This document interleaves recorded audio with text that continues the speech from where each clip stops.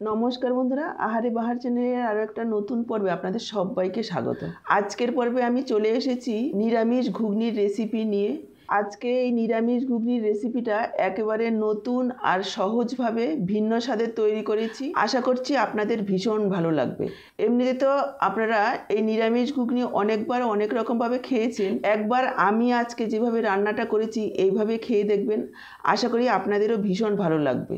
তো চলুন দেখে নেওয়া যাক কত সহজে আর কীভাবে আমি আজকে রান্নাটা করেছি। প্রথমেই দেখুন, আমি এখানে আড়াইশো গ্রাম হলুদ মটর রাতের বেলা ভালোভাবে দু তিনবার জল পাল্টে পাল্টে ধুয়ে জল দিয়ে ভিজিয়ে রেখেছি। এবার সকালবেলা আমি এই ঘুগনিটা তৈরি করছি। একেবারে মটরগুলো ফুলে উঠেছে। আমার মতো এইরকম শুকনো মটর দিয়ে করতে হলে অবশ্যই চার থেকে পাঁচ ঘণ্টা ভিজিয়ে রাখবেন। এতে করে মটরগুলো খুব সুন্দরভাবে সেদ্ধ একেবারে নরম হবে, অথচ গলবে না। আর যদি ভিজিয়ে না রাখা হয়, তাহলে শক্ত শক্ত ভাব হয়। রান্না করলেও খেতে ভালো লাগে এবার আমি প্রেশার কুকারে নিয়ে নিলাম মটরগুলো আর জল দিয়েছি প্রায় দু কাপ পরিমাণ। আপনারা চাইলে কড়াতেও সেদ্ধ করতে পারেন। সেক্ষেত্রে সময়টা বেশি লাগবে, প্রায় কুড়ি থেকে পঁচিশ মিনিট সেদ্ধ করতে হবে। দিয়ে দিলাম পরিমাণ মতো নুন। আর প্রেশারে সেদ্ধ করলে মাত্র দুটো ছিটি মারলেই হয়ে যাবে, মিডিয়াম ফ্লেমে। দিয়ে দিলাম একটু হলুদ গুঁড়ো আর দিয়েছি একটু লাল লঙ্কার গুঁড়ো। এবার প্রেশারটাকে আটকে গ্যাসের ফ্লেমটাকে মিডিয়াম আর লোয়ের মাঝামাঝি রেখে দুটো সিটি মারবো। হাই ফ্লেমে অবশ্যই দুটো সিটি মারলে হবে না। দুটো, হাই ফ্লেমে দুটো সিটি মারলে মটরগুলো সেদ্ধ হবে না। হাই ফ্লেমে মোটামুটি চার থেকে পাঁচটা সিটি মারতে হবে। দেখুন, মিডিয়াম ফ্লেমে দুটো সিটি মারার পর প্রেশার কুকারের প্রেশারটা বের হওয়া পর্যন্ত আটকানো ছিল। এতে করে আরও খুব সুন্দরভাবে মটরগুলো সফট হয়ে গেছে। দেখুন, একটুও ফেটে যায়নি, গোটাই আছে, অথচ টিপ দিলে একেবারে গলে যাচ্ছে। এরকম মটর সেদ্ধ হলেই একেবারে পারফেক্ট এবার এটা সাইডে করে আমি একটা মশলা তৈরি করে নিচ্ছি। দেখুন, এখানে আছে একটা বড় সাইজের টমেটো আর এক ইঞ্চি আদা আর চারটে কাঁচা লঙ্কা। একটু পেস্ট করে নিয়েছি। মিক্সচারের জারে একটু জল দিয়ে অনেকটাই মশলা লেগেছিল, নষ্ট করব না। এবার এই টমেটো পেস্টটার মধ্যে দিয়ে দিচ্ছি এক টেবিল চামচ পুরো ভর্তি করে ভাজা মশলা। এই ভাজা মশলাটার মধ্যে আছে এক টেবিল চামচ ধনে, এক টেবিল চামচ আছে জিরা, এক চা চামচ আছে মৌরি, আর আছে পাঁচ ছটা শুকনো লঙ্কা। একটু শুকনো খোলায় ভেজে গুঁড়ো করে নিয়েছি। গ্যাসের ফ্লেমটাকে লোতে রেখে এভাবে নাড়াচাড়া করতে হবে। খেয়াল রাখতে হবে পুড়ে না যায়। প্রায় এক থেকে দেড় মিনিট লো ফ্লেমে মুচমুচে করে ভেজে নিয়ে তারপর ঠান্ডা করে গুঁড়ো করে নিতে হবে। নাড়াচাড়া করতে করতে যখন দেখবেন দু চারটে একটু চটপট করে ফুটতে শুরু করেছে আর একটা ভাজা সুগন্ধ বের হচ্ছে, তখন বুঝতে হবে ভাজা হয়ে গেছে। এবার দেখুন ঠান্ডা করে নিয়ে গুঁড়ো করে নিয়েছি, তবে খুব বেশি মিহি করে গুঁড়ো করিনি, একটু দানা দানা আছে। সেখান থেকেই এক টেবিল চামচ আমি এখানে দিয়ে দিলাম।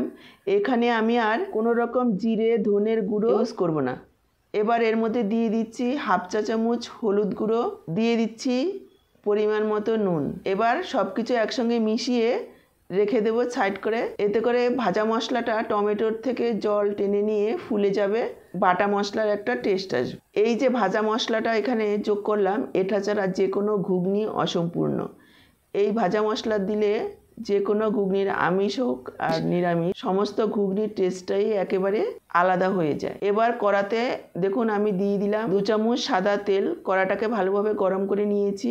এবার তেল গরম হয়ে গেলে একটু তেলটাকে ছড়িয়ে দিচ্ছি। গরম তেলের মধ্যে দিয়ে দিচ্ছি নুন আর তারপরে দিয়ে দিচ্ছি আলু।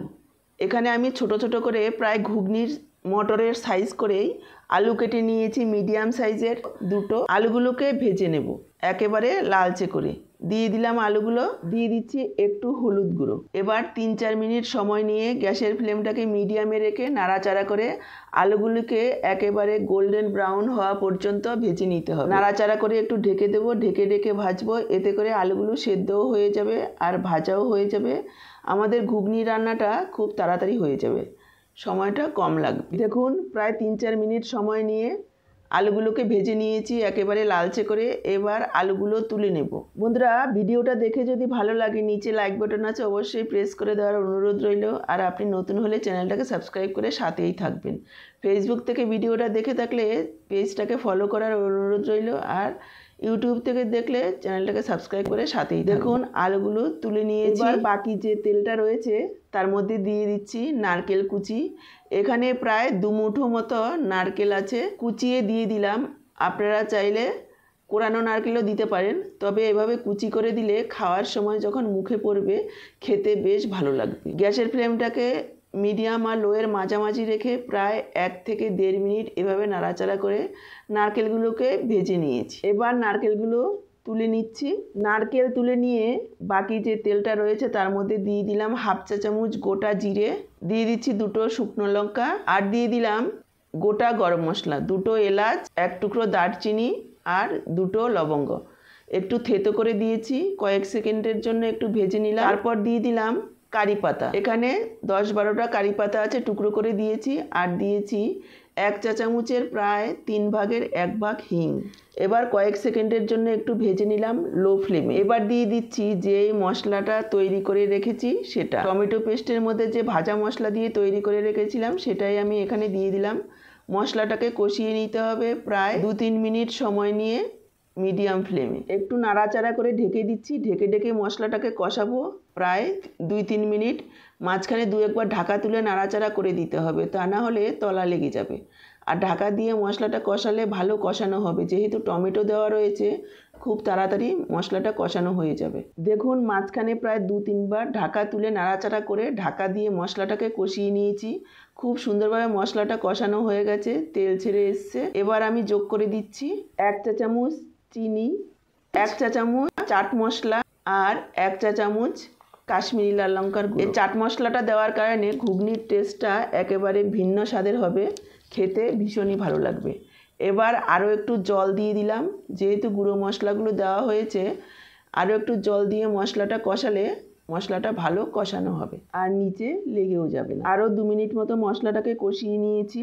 এবার আমি যোগ করে দিচ্ছি ভেজে রাখা আলু। আলুটাকেও মশলার সাথে আরও এক দু মিনিট একটু কষিয়ে রান্না করে নেব। এতে করে মশলাটা আলুর মধ্যে ঢুকে যাবে, আলুটা খেতে ভালো লাগবে। আরও দু মিনিট মতন কষিয়ে নিয়েছি। এবার আমি দিয়ে দিলাম সিদ্ধ করে রাখা মটর। সব কিছু একসঙ্গে মিশিয়ে নেব। আর যদি জলের প্রয়োজন হয় এই সময়ে, তাহলে অবশ্যই ফুটন্ত গরম জল যোগ করতে হবে। ঠান্ডা জল অবশ্যই যোগ করা যাবে না, তাহলে মটরগুলো শক্ত হয়ে যাবে আর খেতেও ভালো লাগবে। আর পানসে পানসে লাগবে। ফুটন্ত গরম জল যোগ করলে স্বাদটাও ঠিক থাকবে। কতটা পাতলা বা ঘন করবেন, সেই পরিমাণ বুঝে জল যোগ করে দিয়ে ঢেকে আরও প্রায় পাঁচ ছ মিনিট রান্না করে নিতে হবে। দেখুন, আমি পাঁচ ছ মিনিট রান্না করে নিয়েছি। মটরগুলো তো আমার আগেই খুব সুন্দরভাবে সেদ্ধ হয়ে আছে, আলুও সেদ্ধ হয়ে গেছে। এবার দেখুন, ঝোলটা একটু পাতলা পাতলা দেখাচ্ছে। এই সময় এক বড় চামচ আলু, মটর তুলে এভাবে চামচ দিয়ে একটু ভেঙে দিয়ে দিলে ঝোলটা ঘন হবে, খেতে ভালো লাগবে। এবার আমি যোগ করে দিচ্ছি ভেজে রাখা নারকেল, নুন মিষ্টিটাও এই সময় একটু চেক করে নেবেন। ভাজা নারকেল মিশিয়ে নিয়ে দিয়ে দিচ্ছি হাফ চা চামচ গরম মশলার গুঁড়ো আর দিয়ে দিচ্ছি এক চা চামচ ঘি নিরামিষ ঘুগনি বা তরকারিতে একটু ঘি দিলে খেতে ভালো এটা সম্পূর্ণ অপশনাল চাইলে নাও দিতে পারে। এবার সব কিছু আরও একবার মিশিয়ে নিয়ে গ্যাসটা অফ করে দেব আর ঢেকে রেখে দেব পাঁচ মিনিট। এতে করে ঘি গরম মশলার গন্ধটা ভালোভাবে মিশে যাবে। পাঁচ মিনিট ঢেকে রাখার পর একবার দেখুন একেবারে তৈরি হয়ে গেছে ভাজা নারকেল দিয়ে নিরামিষ ঘুগনি। কতটা লোভনীয় হয়েছে দেখতে খেতেও অসাধারণ হয়। অবশ্যই একবার আমি আজকে যেভাবে রান্নাটা করলাম, এইভাবে রান্না করে খেয়ে দেখবেন। আশা করি আপনাদেরও ভীষণ ভালো লাগবে। এটা আপনারা রুটি, লুচি অথবা সকালবেলা মুড়ির সাথেও খেতে পারেন। ভীষণই ভালো লাগবে। তাহলে আজকে এই পর্যন্ত আবার দেখা হবে এরকমই দারুণ টেস্টি কোনো রেসিপির সাথে। সবাই ভালো থাকবেন, সুস্থ